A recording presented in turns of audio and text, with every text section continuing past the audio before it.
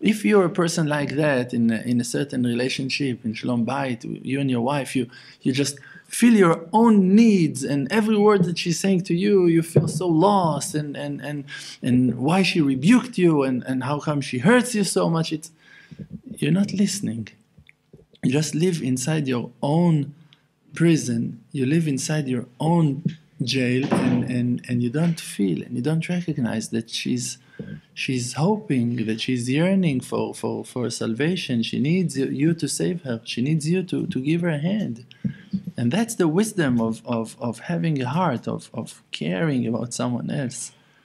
When you don't care when you don't have a heart when you're still busy in your own issues in your lust and your desires so you cannot feel the emotions and the needs of, of your partner. So, like we said always, that everything is going after the will.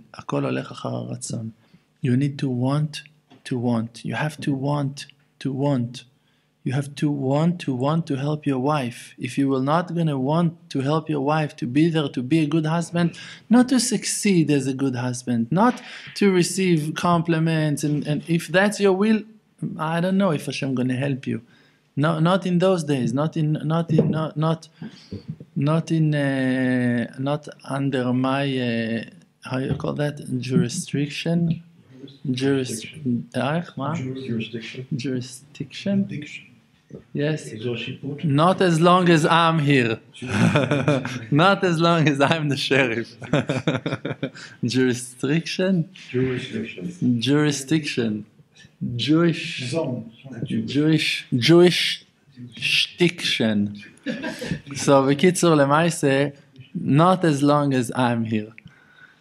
Because the truth is that that if you receive that job of to be a husband, really, so so you got some power in your hand. You are you are the leader of the house. You're in charge of the house. You're gonna lead that house, and people are gonna follow you if they will want or if they won't.